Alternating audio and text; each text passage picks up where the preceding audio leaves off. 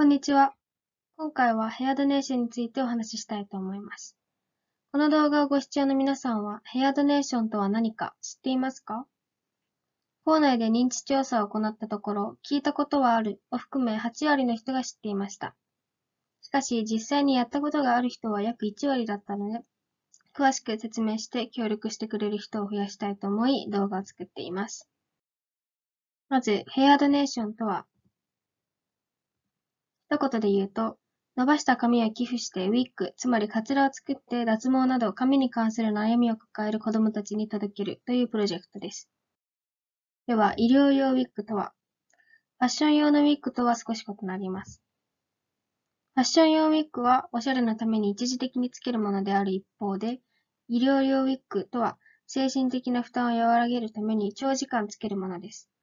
そのため、快適さや通気性、素材にやつけた時の見た目の自然性などが求められます。そこで紙を寄付することは人毛なので、よりリアルに作ることができるのです。では、どんな人が必要としているのでしょうか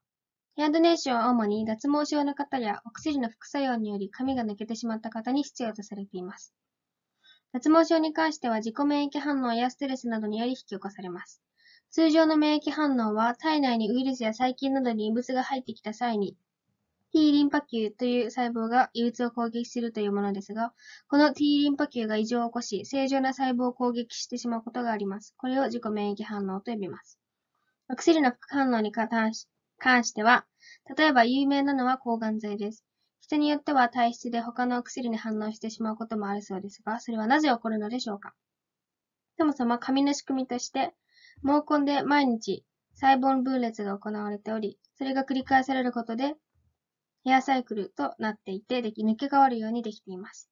その毛根には血管や神経が通っているので、自律神経が安定しないとサイクルが乱れます。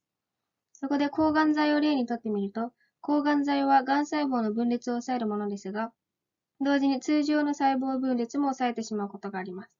すると毛根での細胞分裂ができず、サイクルが乱れて髪が抜けてしまうということにつながるのです。ヘアドネーションの現状。現在、現状としてジャーダックによると、2021年11月15日現在291人もの人が待っており、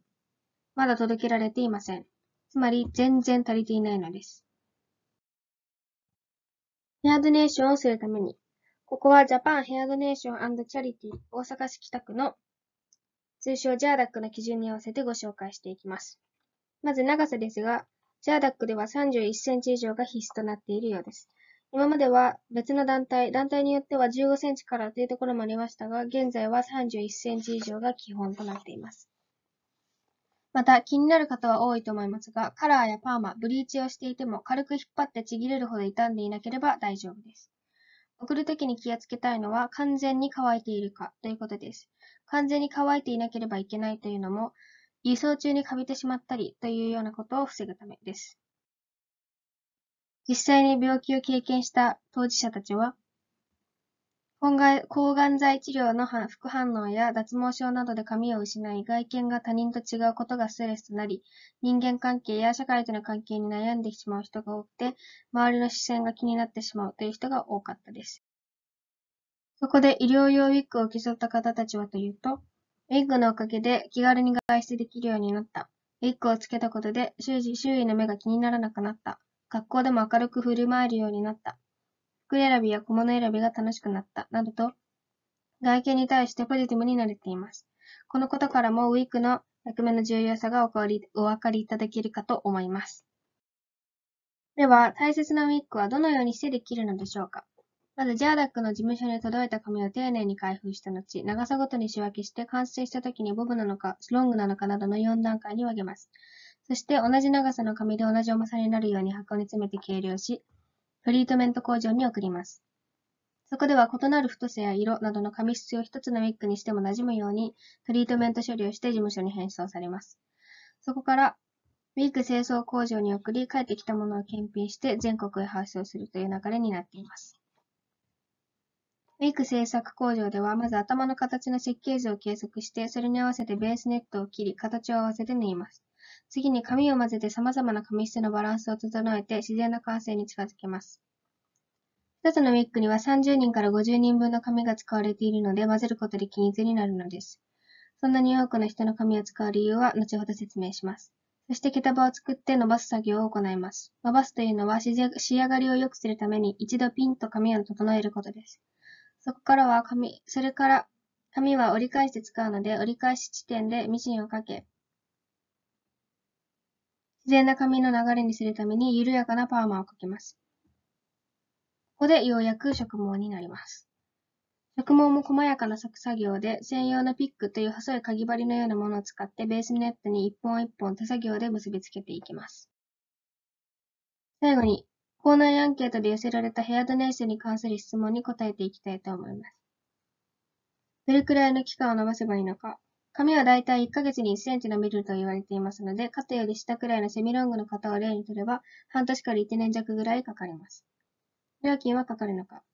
わかります。それぞれの美容室によって少し変わってくることがあるので、予約時にヘアドネーションカットをしたいという旨を伝えた上でご確認ください。切った髪のうちどれくらいが活用されるのか？束の最も長いところが31センチに達していればいいので、それより短い毛は選別の際に取り除かれます。そして、髪に優しいシャンプーやトリートメントなどの開発、そして美容師さん方の練習にも役立てられます。傷んでいても大丈夫か。軽く引っ張ってちぎれてしまうくらいよほどの痛みでなければ、カラーやパーマ、白髪などどんな髪質でも基本的には大丈夫です。なぜ31センチ以上でないといけないのか。ウィッグにするには毛を折り返して使うため、それにそれより短いとショートカットよりも短いようなウィッグになってしまい、後から調整ができないからです。男性でもやる人はいるのか？います。髪の持ち主の性別などは問われないので、どんどんご協力ください。小中学生も周りの理解により多くの男の子たちが伸ばしています。どの美容室でもできるのか？いいえ、基本的には賛同サロンと呼ばれるヘアドネーションを理解し、協力するということを明言しているサロンで行います。ですが、ジャーダックのホームページにはヘアドネーションの方法という説明が書かれたファイルがあるので、それを美容師さんに読んでもらい、了承が得られたら賛同サロン以外でも大丈夫です。ただ、現在すでに2169点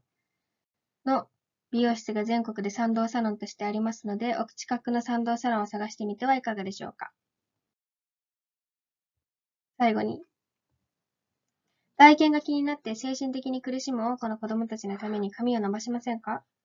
全国でのサロンは2000店以上あります。ぜひお近くのサロンでの寄付をご検討ください。